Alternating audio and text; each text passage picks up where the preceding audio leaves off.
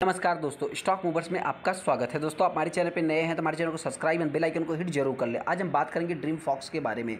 इस कंपनी की बात करें तो हालाँकि देखिए, हमने इस कंपनी से रिलेटेड कई सारे वीडियो बनाए दोस्तों।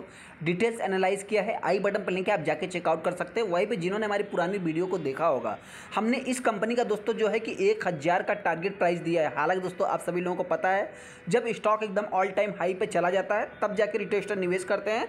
न कि स्टॉक कंसोलिडेट करता है, न कि गिरावट रहता है, तब जो है कि वो निवेश करते हैं। ऐसे में अगर हम इस कंपनी की बात करें तो आज के दिन कंपनी ने दोस्तों फिर से जो है कि आठ परसेंट की तेज़ी दिखा दिया है। हालाँकि दोस्तों बता देते कि इसके पहले ये स्टॉक एक आप कह सकते हैं कंसोलिडेसी कर रहा था। बहुत सारे अभी इस कंपनी को बाइंग करना चाहते हैं, जिससे रिलेटेड हम बात करेंगे। और दोस्तों, बता देते कि बहुत सारे इन्वेस्टर इस कंपनी में फंसे थे। फिर भी जो है कि हमने इस कंपनी को होल्ड करने की सलाह दी थी और जो है कि पॉजिटिव ही कमेंट्री किया था। आप चाहे तो हमारी पुरानी वीडियो को देख सकते हम आगे ड्रीम फॉक्स सर्विस के ऊपर, जैसा कि आप देख सकते हैं, दोस्तों, बताना चाहते हैं कि एक प्रकार से ये अभी रिसेंट में सबसे बड़ा मोनोपॉली क्रिएट करता है। मोनोपॉली क्या है, दोस्तों?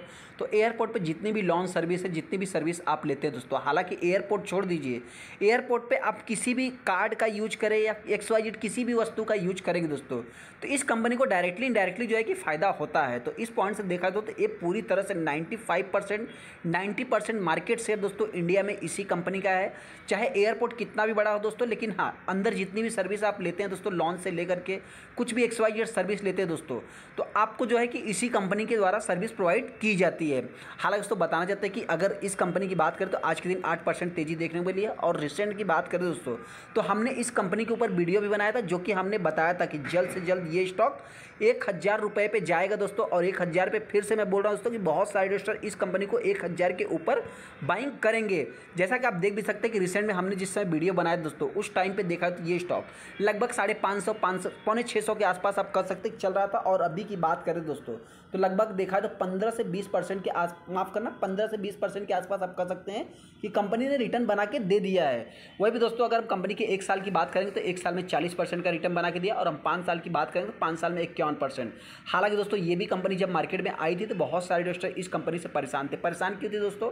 कि ये कंपनी एक ही साइड बेस पैटर्न में चल रही थी और जो भी तेज़ी देखने को मिल रही है, इस समय रिसेंट की तेज़ी आप कह सकते हैं, देखने को मिल रही है। जैसा कि आप यहाँ से अगर कैलकुलेट करेंगे दोस्तों तो ये कंपनी रिसेंट में अभी तक देखा है तो सत्तर से अस्सी परसेंट का रिटर्न बना के दे दिया है और इस कंपनी की बात करें तो साढ़े तीन सौ की प्राइस तक भी ये कंपनी आई थी और आज के दिन कंपनी ने एक नया हाई भी आप कह सकते हैं, लगाया जैसा कि आप यहाँ पर भी देख सकते हैं। हालाँकि दोस्तों, इस कंपनी की खासियत क्या है कि इस कंपनी की खासियत यही है दोस्तों कि इस कंपनी में ऐसा भी नहीं कि स्टॉक में वैल्यूम बन रहे हैं, तेज़ी आ रही है तो वैल्यूम बन रहे हैं तो ट्रेडिंग हो रहा है। ऐसा नहीं दोस्तों, इसमें जो वैल्यूम बन रहे हैं और कंपनी देखेंगे दोस्तों तो आज के दिन हाई लगाया लो की बात तीन सौ अड़तालीस का दिसंबर में लगाया था, जो कि दो हज़ार बाईस है। यहाँ पर देखें दोस्तों, जितना वैल्यूम बना है, उसमें से फिफ्टी माल डिलीवरी में उठाया जा रहा है, जो कि सबसे बड़ा पॉजिटिव साइन मतलब नॉर्मल रिटेल स्टॉक क्या है दोस्तों? कि कब गिरावट होगी, तब बाइंग करेंगे। गिरावट भी हो जाती है तो भी वो बाइंग नहीं करते दोस्तों। जब स्टॉक एकदम ऑल टाइम हाई पे चला जाता है, तब जाके वो बाइंग करते हैं। फिर जो है कि उसमें मतलब गिरावट होती है दोस्तों, गिरावट चालू होती है, फिर यहाँ पे बॉटम पर वो सेल करके चले जाते हैं। ऐसा जो है कि रिटेल स्टॉक की जर्नी है। ऐसा भी नहीं दोस्तों। कंपनी जो है कि डिजर्व भी करती है। कंपनी के अगर आप फाइनेंशियल देखेंगे दोस्तों तो फाइनेंशियल की भी कंपनी के अच्छे मतलब देखा जाए तो कंपनी का जो रेवेन्यू है 140 परसेंट की दर से ग्रो हुआ है दोस्तों।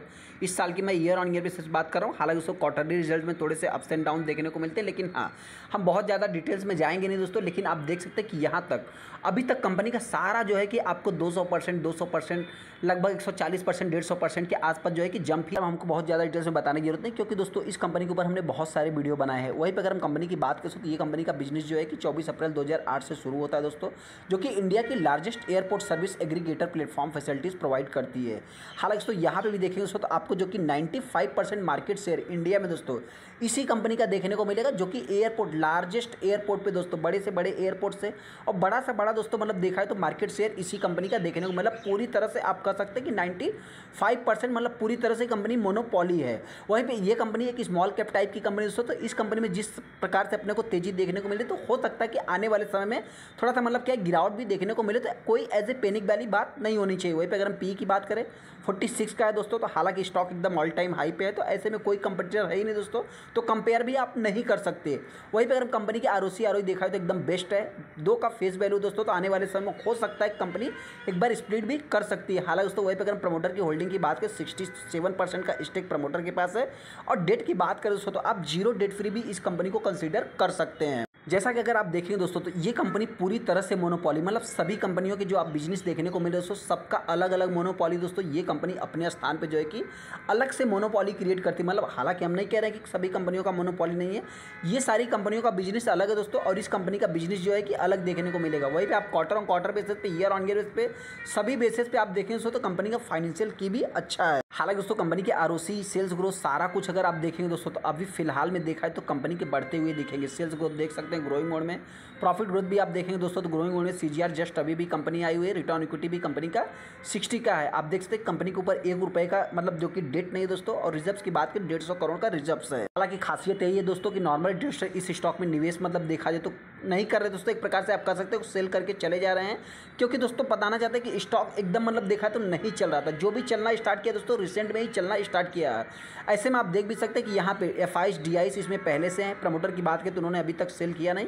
हालाँकि फ्यूचर में क्या होगा दोस्तों, ये बात किसी को मालूम नहीं है। अभी अपने को करना क्या है दोस्तों? सबसे पहले बताना चाहते देखिए, जिनके पास पुरानी होल्डिंग्स है तो मेरे पॉइंट से देखिए, बहुत सारे लोगों ने अभी तक पेशेंस किया है। तो अभी जिन्होंने पेशेंस दिखाया दोस्तों, उसको जो है कि रिटर्न मिल रहा है। तो मेरे पॉइंट से अभी जियो टेस्ट इस कंपनी को बाइंग करना चाहते हैं।